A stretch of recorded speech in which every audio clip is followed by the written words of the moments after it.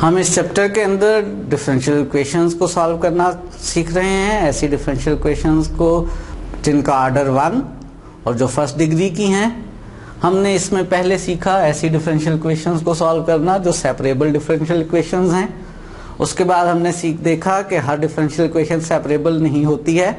अलबत्ता बास differential equation substitution से सेपरेबल में चेंज हो जाती हैं।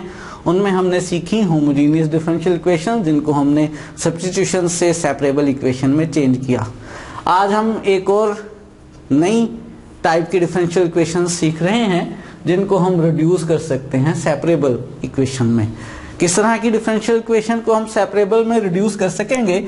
अगर हमारे पास डिफरेंशियल इक्वेशन हो A one X plus B one Y plus C one D X plus A two X plus B two Y plus C two D Y is equal to zero shape की। या हमारे पास differential equation हो D Y by D X equals to A one X plus B one Y plus C one over A two X plus B two Y plus C two इन दोनों में से किसी भी शेप की differential equation हो, ये जो first shape की डिफरेंशियल इक्वेशन लिखी है इसको थोड़ी सी मेहनत से सेकंड शेप की डिफरेंशियल इक्वेशन में चेंज कर लिया करेंगे। और जब इस शेप की डिफरेंशियल इक्वेशन होगी तो हम उसे सेपरेबल इक्वेशन में चेंज कर सकते हैं। इस शेप की डिफरेंशियल इक्वेशन में खास बात क्या है कि लेफ़्ट साइड पे डेरिवेटिव है राइट साइड पे फ्रैक्शन है, और न्यूमिनेटर में भी एक लीनियर पॉलिनोमियल है और डिनोमिनेटर में भी एक लीनियर पॉलिनोमियल है। ये दो डिफरेंट वे से सेपरेबल इक्वेशन में चेंज हो सकती है। किस तरह से डिपेंड करता है इस बात पे कि x के कोफिशिएंट्स a1 ओवर a2 और y के कोफिशिएंट्स b1 और b2 इनकी रेशो सेम आती है या डिफरेंट आती है? हम इस डिफरेंशियल इक्वेशन को सेपरेबल डिफरेंशियल इक्वेशन में चेंज कर सकते हैं। दो केसेस अराइज होंगे। एक्स के कोफिशिएंट की रेशो और y के कोफिशिएंट्स की रेशो पे डिपेंड करेगा। अगर x के कोफिशिएंट्स की रेशो a1 वन ओवर ए और y के कोफिशिएंट्स b1 और b2 की रेशो सेम आ जाए तो डिफरेंट वे होगा। और अगर a1 वन ओवर a2 और b1 ओवर b2 सेम ना आए तो डिफरेंट वे होगा। दोनों वेज को सीखते हैं, दोनों वेज का एक एक क्वेश्चन सॉल्व करते हैं। अगर a1 over a2 b1 over b2 same आ जाए तो इस डिफरेंशियल इक्वेशन को सॉल्व करने के लिए आप A one X plus B one Y को जी सब्सटीट्यूट कर लेंगे।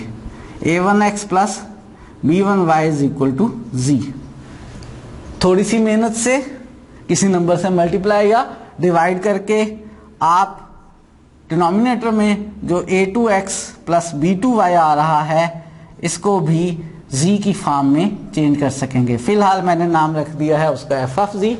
बहरहाल ये z की फार्म में चेंज हो जाएगा। आप कह सकते हैं a इंटू जी की फार्म बन जाएगी। ये a फ्रैक्शनल नंबर भी हो सकता है, ये a जो है, होल नंबर भी हो सकता है। a इंटू जी की फार्म बन जाया करेगी। क्यों बन जाया करेगी? क्योंकि A one over A two और B one over B two दोनों सेम आ गए हैं। राइट साइड पे, यहाँ पर सारी इक्वेशन जी में चेंज हो जाएगी। लेफ़्ट साइड का जो derivative D Y by D X है, उसको चेंज करने के लिए ये जो हमने सब्सटीट्यूशन की है, इसको डिफ्रेंशिएट करेंगे विद रिस्पेक्ट टू एक्स जब आप इसको with respect to X differentiate करेंगे एक्स का derivative one plus B one Y का derivative D Y by D X और राइट साइड पे जी का derivative D Z by D X यहाँ से आप D Y by D X की वैल्यू फाइंड आउट कर लेंगे। यहाँ से ए वन उधर जाकर माइनस हो जाएगा। D Z over D X minus A one और बी वन डिवाइड हो जाएगा वन ओवर बी वन ये D Y by D X आ जाएगा।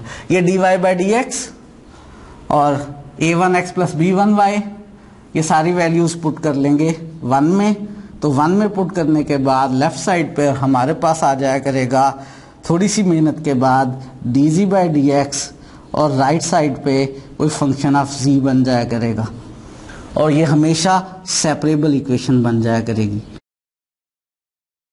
इस सेपरेबल इक्वेशन को सेपरेबल वाले मेथड से सॉल्व कर लेंगे और सॉल्व करने के बाद लास्ट में दोबारा से वेरिएबल z को वेरिएबल x में चेंज कर लेंगे तो हमारे पास डिफरेंशियल इक्वेशन का सॉल्यूशन आ जाएगा।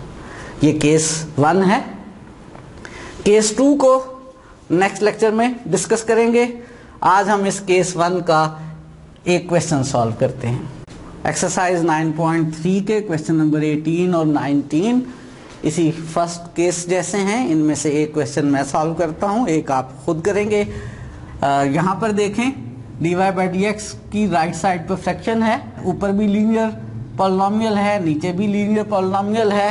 A one over A two A one का मतलब ऊपर वाले एक्स का कोफिशिएंट और ए टू का मतलब नीचे वाले x का कोफिशिएंट थ्री ओवर थ्री कितना आंसर आया? वन और y के कोफिशिएंट्स b1 और b2 की रेशो लेते हैं। न्यूमिनेटर में वाई का कोफिशिएंट माइनस फोर डिनोमिनेटर में भी माइनस फोर आंसर आया। वन दोनों सेम आ गए। जब भी आपके पास dy Y by D X is equal to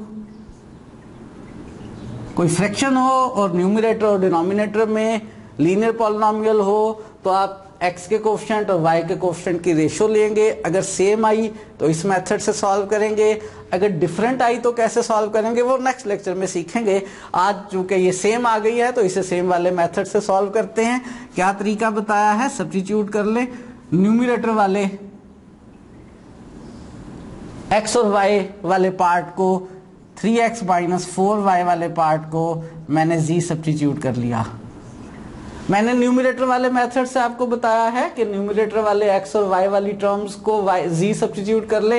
यही प्रोसेस आप चाहें तो डिनोमिनेटर वाले x और y की टर्म्स को z सब्सटीट्यूट करके भी कर सकते हैं। हो जाता होता है क्वेश्चन हमने न्यूमिनेटर वाले three X minus four Y को जी सब्सटीट्यूट कर लिया। यहाँ से इसका डेरिवेटिव फाइंड आउट करते हैं।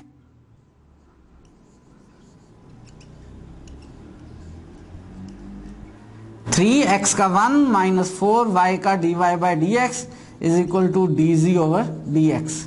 इसमें से D Y by D X की वैल्यू फाइंड आउट करेंगे। थ्री को राइट right साइड पर ले जाएँ। Minus four D Y by D X is equal to D Z over D X minus का थ्री। माइनस फोर से divide कर लें, D Y by D X. Minus four से divide किया तो minus one over four, D Z over D X. और इसको minus four से डिवाइड करेंगे तो minus minus plus three by four ये वैल्यूज़ वन में सब्सटीट्यूट कर लें। मैंने आपसे कहा यह था कि न्यूमिनेटर वाले को जी सब्सटीट्यूट करेंगे। डिनोमिनेटर में जो एक्स और वाई की टर्म है, वो भी जी में चेंज हो जाएँगी। और यहाँ पे मैंने बिल्कुल भी नहीं चेंज किया, क्यों नहीं चेंज किया? क्योंकि एग्जैक्टली सेम ही है। तो ये z में चेंज हो गया है डिनोमिनेटर वाली टर्म्स भी 3x X minus four Y की जगह आप z लिख सकते हैं। तो ये सब्सटीट्यूशन कर लेते हैं वन में और डिफरेंशियल क्वेश्चन को सॉल्व करते हैं। लेफ़्ट साइड पर D Y by D X की जगह minus one over four D Z over D X plus three by four right side पे three X minus four Y की जगह z तो न्यूमिनेटर में z माइनस टू डिनोमिनेटर में भी यहाँ z सब्सटीट्यूट किया तो z minus three.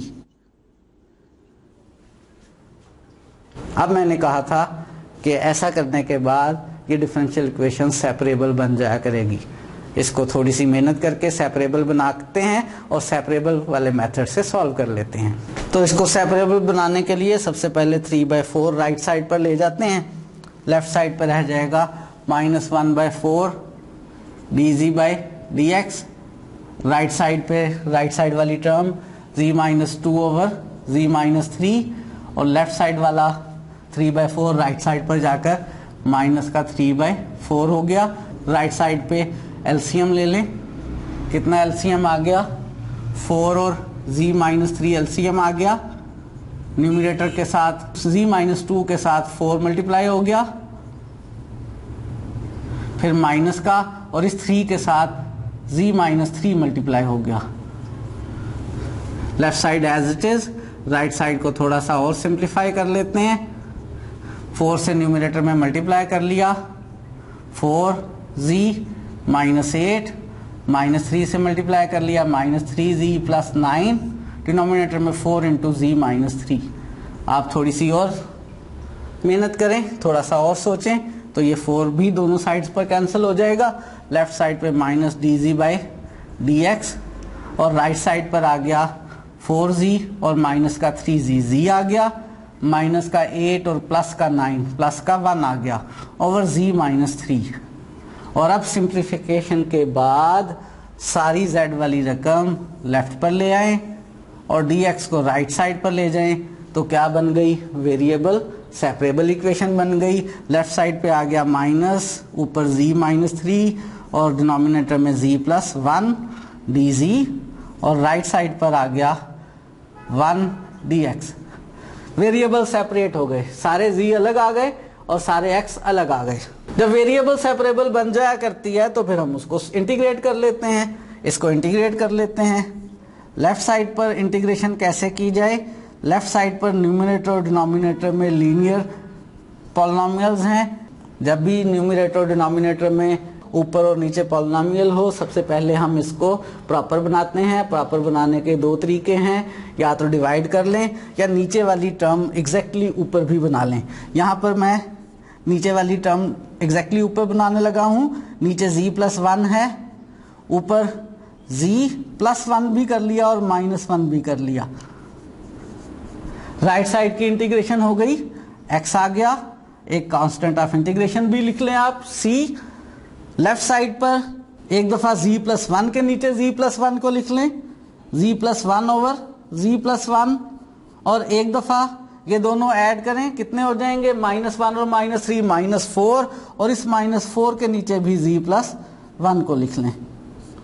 D Z is equal to X plus C left side पे दोनों इंटीग्रल्स को अलग अलग कर सकते हैं आप। फ़र्स्ट में z प्लस वन कैंसिल हो जाएगा सिंपली वन डी जी आ गया, और सेकंड में माइनस माइनस प्लस हो जाएगा। फोर कांस्टेंट है, उसे इंटीग्रेशन से बाहर लिख लें। One over z plus one D Z is equal to X plus C तो इंटीग्रेशन भी सॉल्व हो गई तकरीबन। लेफ़्ट साइड पे पहले इंटीग्रल में minus one as it is और इस वन का इंटीग्रल z सेकेंड इंटीग्रल के अंदर, बाहर जो फोर है कांस्टेंट एज इट इज़ और इंटीग्रल के अंदर नीचे फ़ंक्शन है जी प्लस वन और ऊपर उसका डेरिवेटिव है। नीचे फ़ंक्शन और ऊपर डेरिवेटिव हो तो क्या आंसर होता है? Log log of Z plus one और right side X plus C as it is ये डिफरेंशियल इक्वेशन सॉल्व हो गई। लेकिन ये हमारा सोल्यूशन नहीं है। क्यों? क्योंकि गिवन डिफरेंशियल इक्वेशन में वेरिएबल्स थे x और y, जबकि इसमें वेरिएबल हमारे पास क्या है? z. इस z को हमने दोबारा से x और y में चेंज करना है। कैसे? कहाँ से? ये जो हमने सब्सटीट्यूशन की थी टू यहाँ से। फ्रॉम टू z की वैल्यू है 3x X minus four Y ये यहाँ सब्सटीट्यूट कर लेते हैं। माइनस जी की जगह 3x X minus four Y plus four log log के अंदर ये जो z है, इसकी जगह three X minus four Y ये वाला plus one as it is right side as it is x plus C minus से मल्टीप्लाई कर लें तो minus three X plus four Y plus four log three X minus four Y plus one का modulus is equal to X plus C ये दोनों terms right पर ले जाते हैं।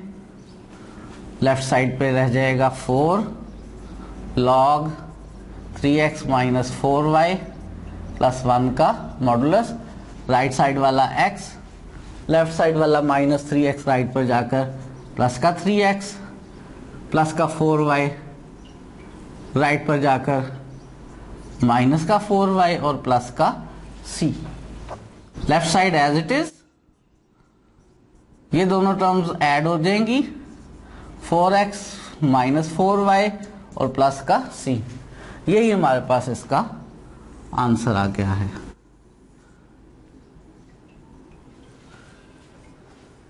और अगर आप लॉ ख़त्म करना चाहते हैं तो कर लें, लेकिन कोई ख़ास ज़रूरत नहीं है। इसलिए कि लॉ ख़त्म करने के बाद भी कोई टर्म्स आपस में प्लस माइनस नहीं हो सकेंगी। कोई ऐसा नहीं हो सकेगा कि वाई एक तरफ़ आ जाए और सारा एक्स दूसरी तरफ़ चला जाए। अगर लॉग एक्सप्रेशन में मौजूद हो आंसर में मौजूद हो, और लॉ ख़त्म करने से वाई निकालना मुमकिन ना हो तो ज़रूरी नहीं है कि आप लॉग को ख़त्म करें। अनलेस कि उसने कोई स्पेसिफिक आंसर बनाने के लिए कहा हो। अगर उसने कहा हो कि इस डिफरेंशियल इक्वेशन का सोल्यूशन ये है, और वो बनाने के लिए आपको लॉग एलिमिनेट करना पड़े एंटी लॉग लेना पड़े तो ज़रूर लें। अदरवाइज़ ज़रूरत नहीं है। अगर हम इसमें से लॉ ख़त्म करना चाहें तो लॉ की प्रॉपर्टी से ये जो फोर है, ये लॉग के अंदर वाली एक्सप्रेशन की पावर बन जाएगा। Right side as it is याद है कौन सी प्रॉपर्टी यूज़ की है मैंने? मैंने प्रॉपर्टी यूज़ की है कि लॉग एक्स की पावर एम हो तो वो एम टाइम्स लॉग एक्स के इक्वल होता है। एंटी लॉग लेंगे तो लेफ़्ट साइड से log खत्म हो जाएगा। और राइट साइड वाली एक्सप्रेशन e की पावर में चेंज हो जाएगी। क्यों भला? क्योंकि अगर हमारे पास log x, y के इक्वल हो तो x इक्वल होता है e की पावर y के। लेफ़्ट साइड में log के अंदर मॉडुलस था। मैंने ख़त्म कर दिया है, क्योंकि पावर फोर है। पावर फोर ऑटोमेटिकली इसको पॉजिटिव बना देती है। इसलिए मॉडुलस लिखने की ज़रूरत नहीं है। कोई x या y आपस में प्लस माइनस फ़िलहाल नहीं हो रहे। अलबत्ता राइट साइड पे थोड़ी सी चेंज कर सकते हैं। ये जो e की पावर्स हैं, अगर मैं कांस्टेंट वाली पावर अलग कर लूँ, यानी e की 4x X minus four Y और e की पावर c कर लूँ। और e की पावर c एक कांस्टेंट है, और जब कांस्टेंट ही है तो इसको e की पावर में लिखने की क्या ज़रूरत है? हम सिर्फ़ c ही लिख लेते हैं। यानी हमारे पास आंसर आ गया three X minus four Y plus one की power four is equal to C into E power four X minus four Y. यही हमारे पास आंसर है लॉ ख़त्म करने के बाद। और आपने देखा, इसमें कोई एक्स और वाई एलिमिनेट नहीं हो सकते। ऐसा नहीं हो सकता कि वाई एक तरफ़ और एक्स दूसरी तरफ़ चला जाए। तो इसको बनाने की ख़ास ज़रूरत नहीं है, मैंने बता दिया। अनलेस कि उसने स्पेसिफिकली कहा हो कि आपका आंसर ये आना चाहिए।